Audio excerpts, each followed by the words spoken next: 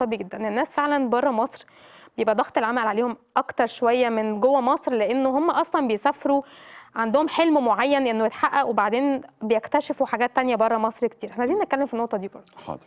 أنا لو واقع تحت ضغط شغل تمام، لازم أتعلم حاجة اسمها تقييم مستمر لنفسي، هل أنا شخصية متمردة والّا شخصية باقبل باقبل الشغل؟ وبعدين مش باحكّي على بتوع برّه بس، أنا باحكّي على ال ال العالم العربي كلّه، كل المشاهدين. فأنا لمّا آجي أقول النهارده أنا واقع تحت تحت الشغل، قيّم نفسك كويس أوي، تقييم مستمر لنفسك، أنا كُفء والّا غير كُفء؟ ده مهم أوي. يعني لو أنا مش كُفء لازم أشتغل على عادات جديدة أكتسبها إمم. عشان أصل إلى درجة الكُفء. الجملة التانية، لازم أكون باكتسب عادات إيجابية. أنا باسأل سؤال ضغط العمل، أ أقول لِك على قصة من أغرب القصص. واحد واحد شغله متواجد ومتوفر وكل يوم يروح متأخر من 5 ل10 دقايق، كل يوم، كل يوم من 5 ل10 دقايق. إمم. آآ المدير هو اللي غلط والّا أنا والّا أنا اللي محتاج أشتغل على نفسي، أصحى بدري شوية عشان أوصل وأكتسب عادات جديدة إمم. للشغل بتاعي، ولمّا تيجي تكلمه يقول لك أنا باشتغل تحت ضغط. إمم. مش بتشتغل تحت ضغط، أنت لازم تغيّر من عاداتك الإيجابية الجديدة. صح. طيب في حاجات بنسميها زي ما قلنا كده اتعب، اتعب، هتلعب، هتلعب.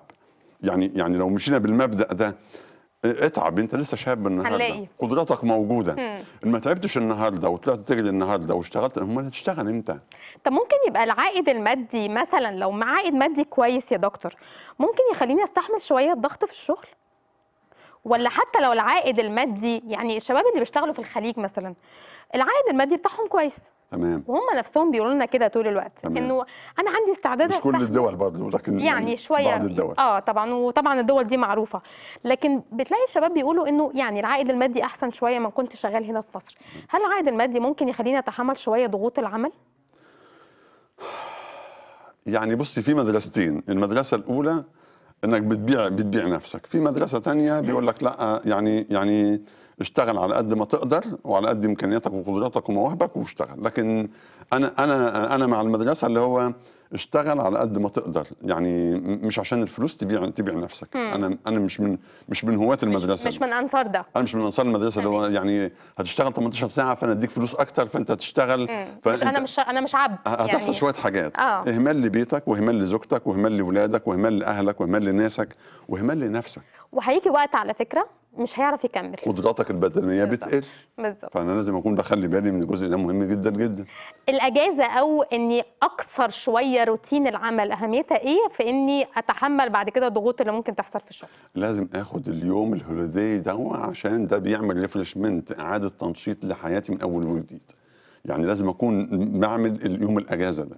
يوم الأجازة ده لازم آخد فيه زوجتي وأطلع برّه، لازم أكون باغيّر فيه جو، ولازم أكون آآ إحنا عندنا عندنا في مصر بنعمل حاجة غريبة أوي، يوم الأجازة بننام. وده أكتر مشكلة. أنا عايز أعمل refreshment عايز أع أعيد تنشيط حياتي من أول وجديد. فأنا لمّا آخد زوجتي وولادي وأطلع، على فكرة مش تحت شرط يعني مرتبط عندنا الخروجة بالأكل والفلوس، وده مش أنا ممكن أطلع بس أتمشى كده وأرجع أغيّر جو وأرجع نُص ساعة